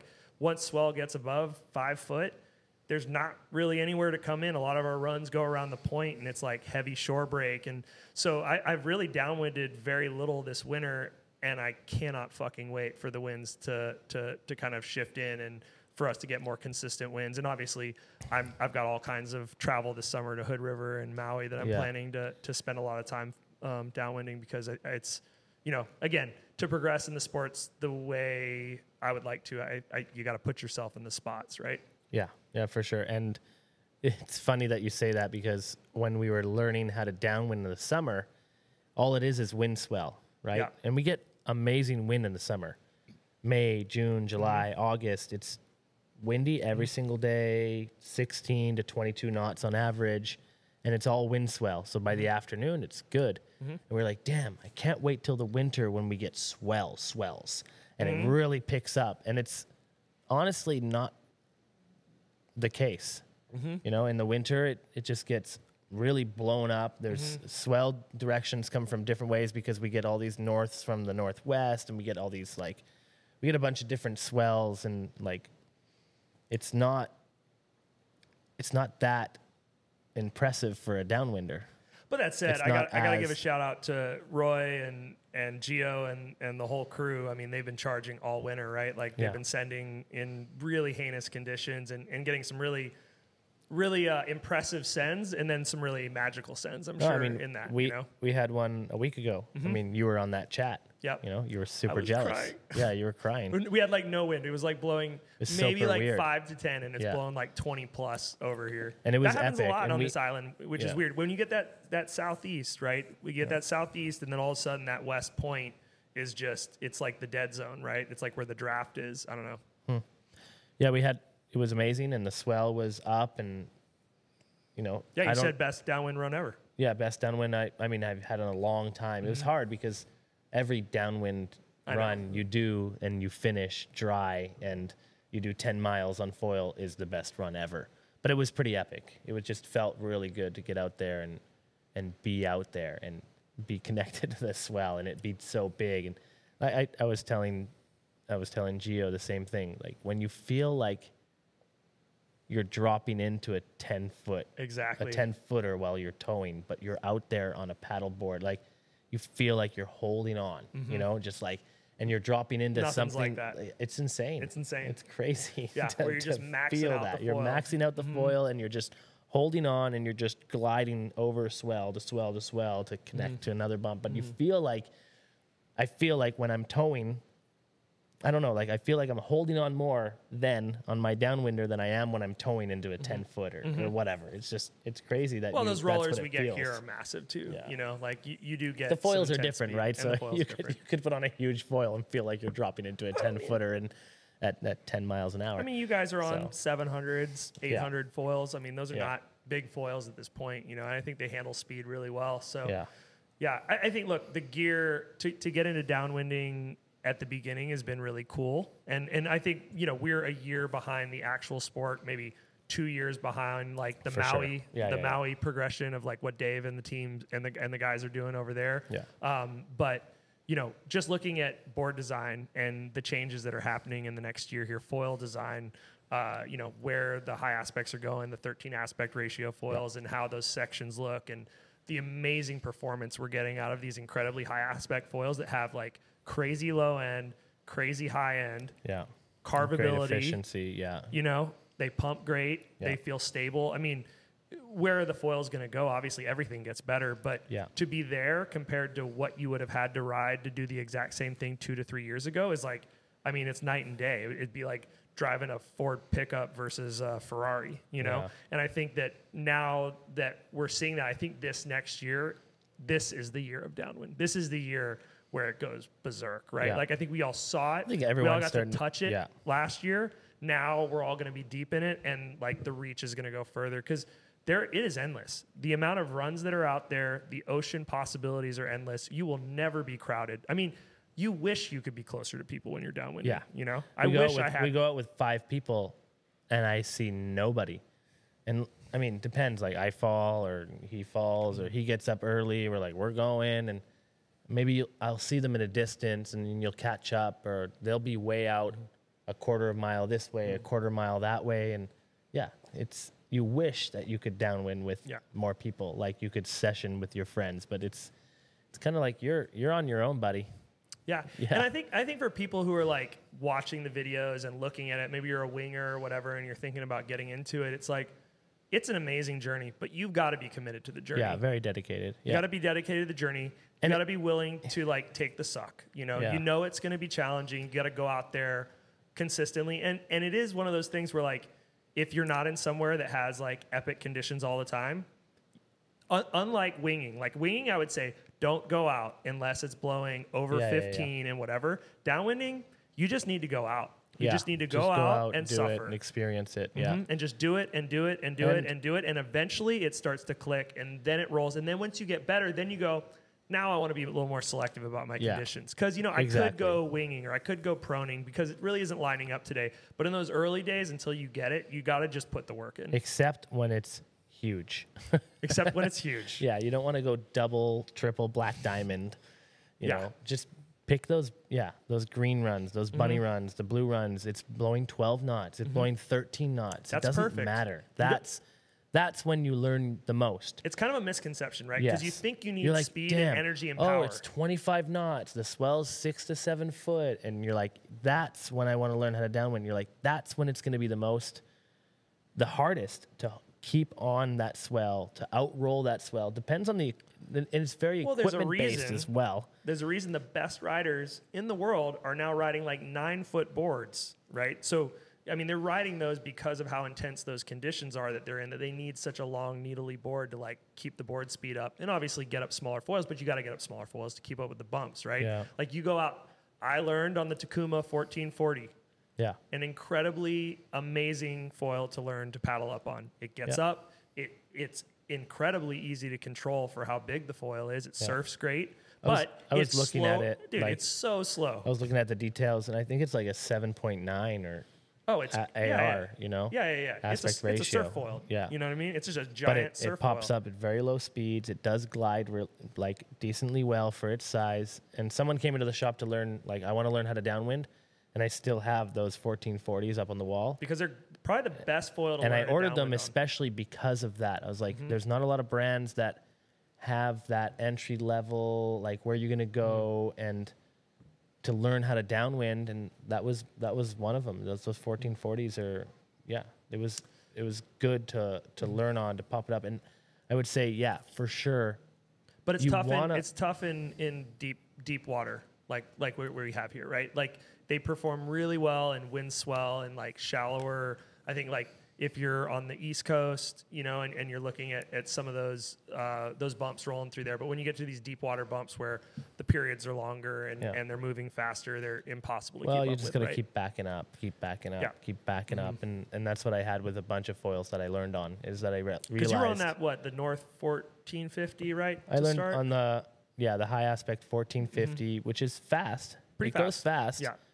Um, and then but it wasn't easy enough to pop up. No, no, it doesn't have a good low. You know, it doesn't have a good low is. end for how big it is, Mm-hmm. but it was fast, so I could keep up with it. It had really good glide. So I backed up, and then I went on the 1230 SF, which is their surf foil, Mm-hmm. which I can flat water start that thing. But I one day I went up on it. I'm like, damn, I can flat water start this thing. It's going to be great. And I got up and I, I did a run from Caballos to La Mm-hmm. Ocho. It's I don't know seven miles, 8 miles, or whatever. And I was so exhausted backing up off the Yes, swell and exactly. backing up off the swell. And ba- like Mm-hmm. it just would not glide enough to keep up with what the swell was doing. That I was I was burning myself out pumping it, and I could come down to almost like I don't know, like to a stop and pump it and keep it pumping and keep on Mm-hmm. foil, which was totally fine. But I just it was exhausting pumping it and and leaving off the swell and pumping and leaving Mm-hmm. off the swell. So I realized then I was like, nah, great that I can pop it up and and I can flat water start it, but it, it just didn't didn't match up for what I needed for downwinding. So it's part of the progression, I think. You know, I, Yeah. I kind of had a similar journey where I learned on the 1440. Um, I learned here in Puerto Rico, and then we, we took kind of the, the Puerto Rico crew trip with, you know, Randy and Roy and uh, you and me and, and whatever to, to Hood River. And um, that was an epic experience. And, and all of a sudden now I was in better conditions and I was, I was riding the Takuma still. I had the 1095 that, uh, well, my old 1095, which I actually uh, had gifted to Emily, Yeah. uh, which I borrowed back so I could use. Took that to Maui. Um, and then from there, I got on to, uh, well, I was in Maui. I picked up um, from Mark Raaphorst, who's the built amazing boards, which I have one of his boards right now, was Flying Dutchman and SIC. And um, I, I do think the boards matter a lot, right? Like I, I, equipment, I'm, I'm, I'm definitely always maybe it's because I'm not as as good as everybody else. I'm always chasing like what is the what's the best edge, right? yeah, and, and I think I we're told uh, I don't know who I said it to, but I was like, if it makes me five percent better, I'm getting it. exactly. If it makes me two percent better, I'm getting it Yes. right. So I mean, the board matters a lot, and and Mark makes incredible boards, but he also sells Axis foil. So I I got the the 1201. Which is actually like a 13, uh, because Axis is the most confusing shit ever. I mean, I, I love I- the barrier to entry in foiling is like, how good are you at remembering numbers and the equivalent of like square inches to centimeters to span or whatever? And when we people listen to us talking about foils, they must think we are just like accountants or insane, right? We're just rambling I- numbers. I know all these numbers. Yeah. Yeah. The only, yeah, I, I said it before. The only brand I really don't know much about is Axis mm-hmm. because I know that I don't know their numbers are span mm-hmm. versus actual area and Yeah, I saw this dude out why? the other day. He was on a Why? Spitfire ah, fuck, I don't even know, 10 something. But I was like, oh yeah, 10, whatever. It's a thousand. I was like, wait a second, that could be like a 1400. I don't even know. you know? Yes. Like, but yeah, I, I got on the Art Pros and, and they were really insanely different, right? Like I went from these like slow moving, low end Takumas to these like super fast. I mean, Kai, Kai raced, Can't. Kai raced the whatever, the, the 1001 or whatever they have in Okay. the in the M- M2O last year. You know, like they're incredible foils. They're really built for downwinding. Um, so I used those for a little Just bit. can't turn them. You just yes, my t- the 1201 the span was just too much. I didn't know what to do. I'd never ridden a foil like that, right? Like I'd always been on these surfy foils, and for me to go to that, it was weird. I got worse riding it at first. Eventually, like it made me better. I think that's what Geo had. Mm-hmm. Geo had it. So had Geo 1201. had He that, the same and then experience. he moved over to something the way smaller, on Yeah. like a 980 code, mm-hmm. and had because way it, more because success. it was all we could get, you know. Yeah. And I had the same experience, you know. Yeah. And then I think I finally, and it's part of the journey, right? Like you kind of have these bigger wings, and the 1201 was the first time I had a big wing that could also move me forward, and I could actually keep up with bumps. I didn't have to chase back as much. Like I was able to like stay on those you know, stay on those bumps a little bit longer and milk them a little bit more. Whereas like when I was riding those slower Takumas, I was always getting pushed off, right? Like it never gave me the ability to like milk the milk that bump and, and get to the next one and really be efficient. Um, and now, you know, progressing down to the the Code 860 uh, high aspect that I'm riding now, I mean, it was it was it was a real game changer because now I've got that ability to go forward or go backwards, right? I can Yeah. I can look through the bumps and I can put myself where I need to be, and I can also turn when I want. And coming Yeah. from a surfing background, like carving feels more natural. Like I want to carve through the bumps a little bit more than I just want to like point and chase. So I think it's all about like you know what's your what's your skill set, what's your direction. But I, I do think there is kind of this learning curve where you've got to understand until you can get to those smaller foils, you're probably going to be chasing chasing bumps backwards mm-hmm. unless you're in wind swell. If you're in Hood River or maybe you're in the southeast and you're getting small like wind driven swell that's like tighter period and you know then you can kind of sit in those bumps because they're not moving so fast. But when you come out to these like 8, 10, 12 second period, you know, swells that we get out here. I mean, they're moving so fast that Yeah. you're just you're hanging You on for dear up. life. Yeah. Yeah, but it's cool. But it's cool. It's all part of the journey, and that's where I think, again, ten percent of my way through this journey and downwinding. I, I'm so excited for summer. Yeah. Yeah, Yeah, you've got a pretty it. great summer lined up. hell yeah. Hopefully, I'm going to join you. You better. One of those. Yeah. Yeah, yeah, yeah. I'm going to be uh, trying to line up that trip coming to Hawaii um, August. Fresh off the baby, dude. Yeah. Fresh, baby in tow. Fresh baby. Cooking right now. That's right. Um, due in June. June. Yeah. Yeah, yeah, yeah. Yeah. And then, and then, you know, have a little home time, baby time, Hot and ready. hot and ready, and then straight to Hawaii. Yeah, it'll be dope. Um, it'll be dope. I can't wait for you. weeks. I can't wait for you to get Yeah, I hope you're that gonna, lines You're up. gonna kill it, man. It's gonna be great. And you know the whole the whole crew's right. Gonna be there. Yeah. Insane. Roy and Geo and and uh, and So I want to, like I talked about it, I want to have them one by one on the pod, Got and to. then all of us together.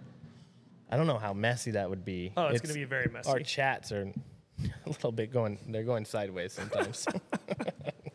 so if anybody wants to donate to Mickey's fund, we have a GoFundMe so he can, you know, buy. Uh, Foil drive. I actually I, I took it down.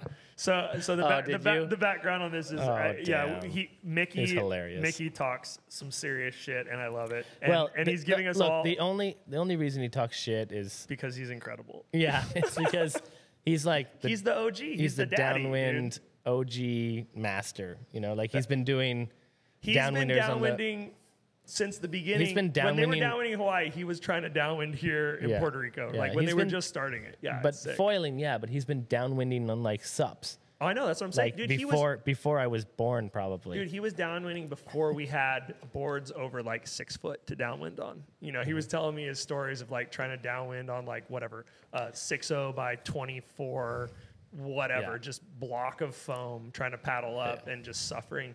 It was actually cool. I was out in the lineup the other day and uh, Mike Leeson was telling me a story about, you know, about six, seven years ago when they were making a lot of race downwind boards um, for just paddle paddling. Um, Extremely sexy boards. Yes. MHL custom. Yeah. beautiful, beautiful in the boards, day. right? Yeah. And uh, and obviously they were making the kite foils. Then he Yep. basically took one, you know, just as as the Malagoys did, and put tracks in a downwind board.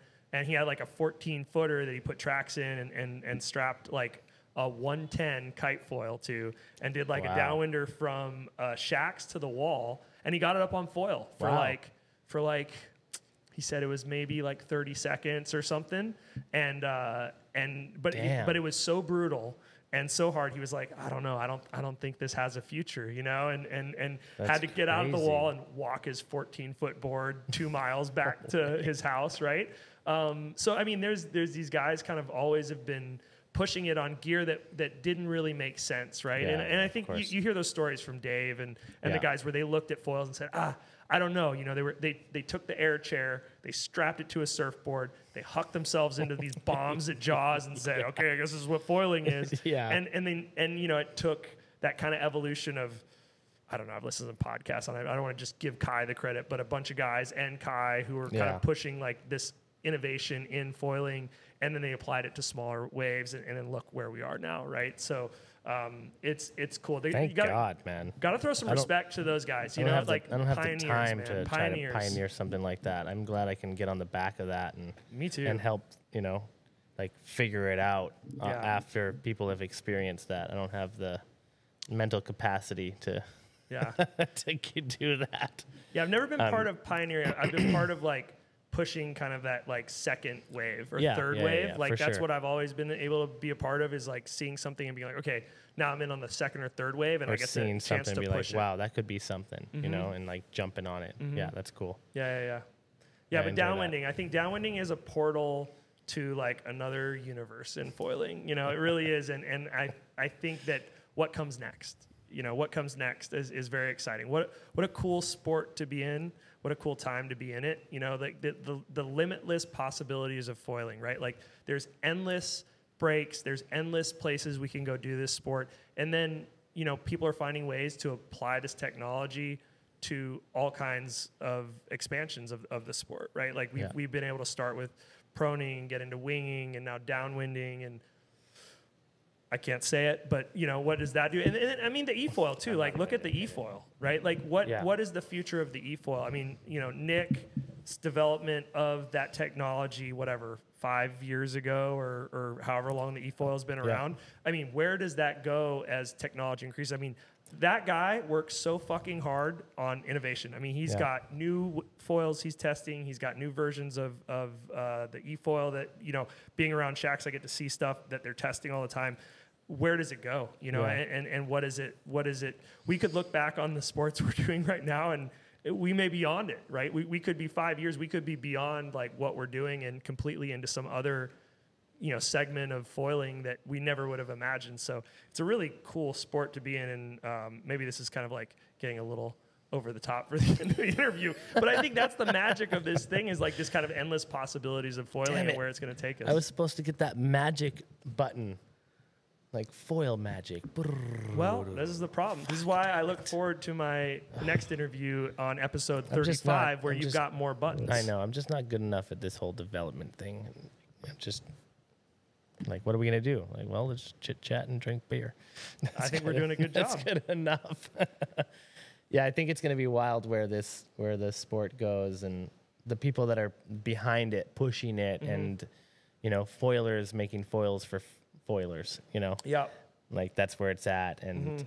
and these small companies that can actually get in because I don't know. There's all these tweakers it. enough. Like, yeah, we're, Well, fro- and we're like, all we're just all wanna on it. like we just want just a little bit, Mm-hmm. I, what which is hard because it's hard for me because I use you go out there and I test all these foils and they're all so good. You just now gotta they're so good. I all agree. of them, Everybody all these a great brands, foil. all of them. You know, you could I mean, like, like all the, all the new Armstrong stuff that Yeah, just came all out. It's it, mind blowing, right? And code and whatever, right? yeah, all the, Lift's got five thousand. now they're doing all these like yeah. Mm-hmm. downwind foils that they've got, and they've got bigger downwind foils now because they're you know you know merging towards more beginners versus like the high end, right? Because Mm-hmm. That's it. I appreciate that they came out, like code came out with like that focus on kind of like the more high end performance at- Yeah. at first because it was really nice for all of us kind of looking for it. Yeah, but then they be able to jump now they're that. merging in and they're then they're expanding. Yeah, right? exactly. Mm-hmm. And they knew that. They knew that's what they were going to do, but they focused first on the foilers first, and then people Mm-hmm. getting into it. And yeah, I mean, you could you could throw a dart and get on a foil of any of these brands, Mm-hmm. and it would be amazing. Like all of them are doing. It just depends on your market and where you are, what you're going to be on, and then grow into that and see where it takes you. You know, mm-hmm. the equipment is a very important part of your progression and what you're going to do and what sport you're going to do. So I think you have to you have to pick very wisely, especially if you're going to learn how to downwind. Pick your foil wisely. You know, your equipment. Mm-hmm. It's it's a very important piece, and it depends where you are. You know, so you have to be very specific because I see people on forums or they ask me questions like, "What foil should I get?" And I'm like, "Well, what sport are you doing? What board are you? What level are you? What conditions do you have?" And there's so many questions around. You know, kiting. It's very simple. How much wind do you have? Well, we've got this much wind. Get a 12 meter kite. like, that's I, I think it's a great great point, right? Like, as you look at, um, okay, what's happening in Florida, and like that was where Takuma was talked about a ton, right? Because Takuma really matched those slow moving sandbar style uh-huh. wave conditions. Like, I mean, that's where I learned. Like, I totally get it. A lot of the boys over there are still ripping those, right? And then obviously. Unifoil put out the progression foil and whatever, which I think is very tuned to that same kind of riding. Obviously, having maybe more high end and whatever. And then you look at lift.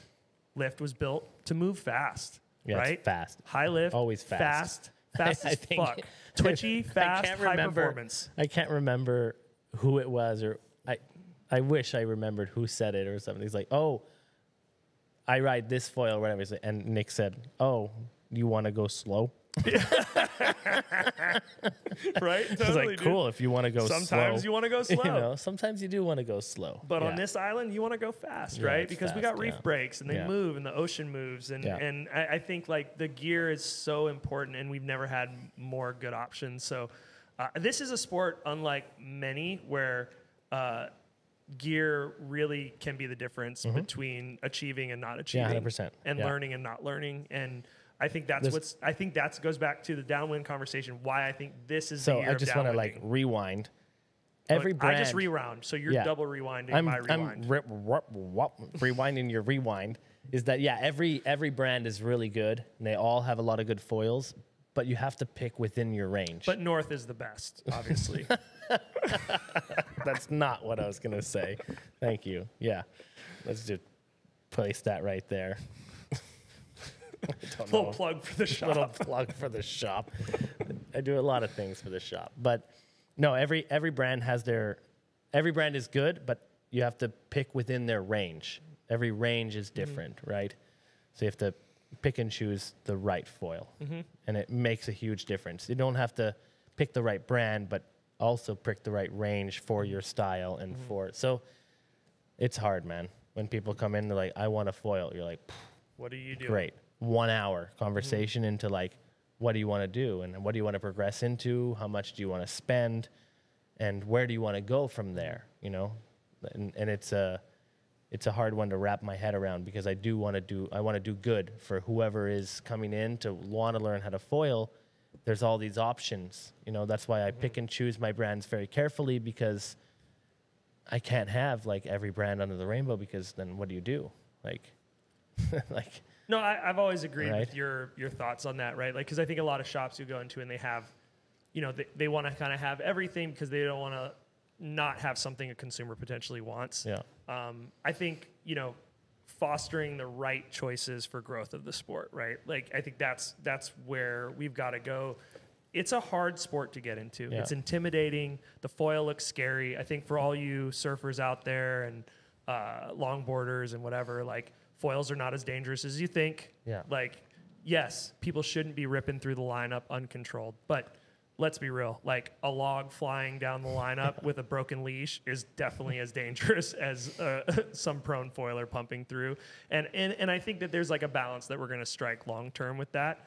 Um, but I think getting people into good gear where they can progress, right, and, and get into the sport. Because where is it going to go? You know, this is a more efficient use of like water energy, right, than a surfboard or whatever. And, and the, look, there's those days, right? Like we go out towing at Caballos when we get kicked off because all the surfers are, are, are, are out there. We don't get kicked off. We move. we, we politely Yeah.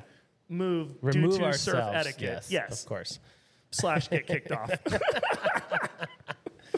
Yeah. Uh, but but you know, like it is magical, right? Like Yeah. the magic of surfing in high energy waves is is it's incomparable. Like you can't do like foiling will never be what shortboarding is on a big Yeah. wave, No, no, for sure. Yeah, uh, or, or or or riding a gun on Jaws or whatever, right? Like I mean, you saw Matt. Uh, I can't ever say his ex extra extreme Barry or whatever the guy.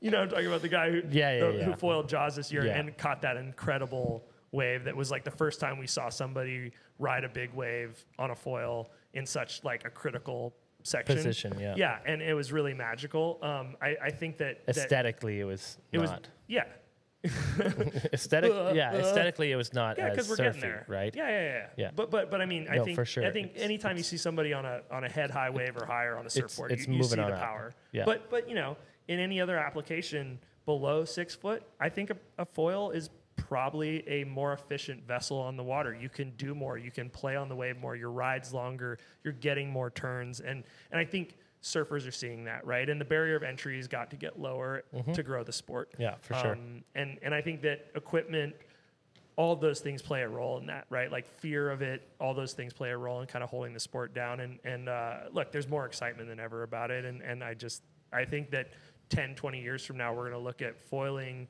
um, and it's going to be a much bigger segment of surf community than it is today. Yeah, hundred percent. Yeah, it's got to be. It has to be, I mean, there's no choice. and we're going to be on like space foiling. Yeah. Looking at that button. Which button? oh yeah, yeah, Just joking. yeah. I know, right? I know, I know. But I hope, I hope not. I think, I feel like No, we've all gotten so fit from downwinding. I'm Yeah. afraid that the the batteries are gonna. To Mickey's point, they're gonna make us all fat. Yeah, yeah, no, definitely. You wanna you wanna foil on your own will. You know. well, there's nothing like tapping into that energy, right? No, like in- 100%. In, in the most for free sure, way, and sure. and on the lightest equipment. You know, like all of that matters, and and Yeah. that's the pinnacle, right? Like that's the pinnacle, that moment of freedom out there where you're just tapped in to to to to literally like the the moon energy, right? Like we're, we're talking about like the craziest shit. We're, we're wavelengths in the middle of a body of water, you know, and we're tapping into that and flying and, and having these four or five minute long journeys. And, you know, I think that's the magic of downwinding is, is having that moment of being able to connect to the ocean for such a long time in such a hyper focused phase and like being able to make turns and connect and read the matrix and just be in that moment of like half a mile offshore, a mile offshore, yeah, cranking turns, like you said, like you just got towed into a wave, you know, Yeah. and, and making bottom turns. And I mean, that is just the coolest shit ever. I feel like that's a great ending, and I feel like we've had probably too many Pernicious, and we're going too deep into our feelings of foils. Isn't isn't that the whole point of this thing? and also, as long as you're not driving, there's never too many Pernicious. Walt, I think we could go for hours and hours, so let's have you on the show again for sure. I'd love it, dude. Love What it. What do you want to leave people with? Anything special? Oh man, yeah, that was that's my big moment, huh? Yeah, I think. No, it's not. Keep it short. Keep God it damn short. it. Yeah, yeah, yeah. I think uh, I'm gonna keep this real short. Uh, drink beer, go foiling, don't give up. Go foiling, drink beer, don't give up.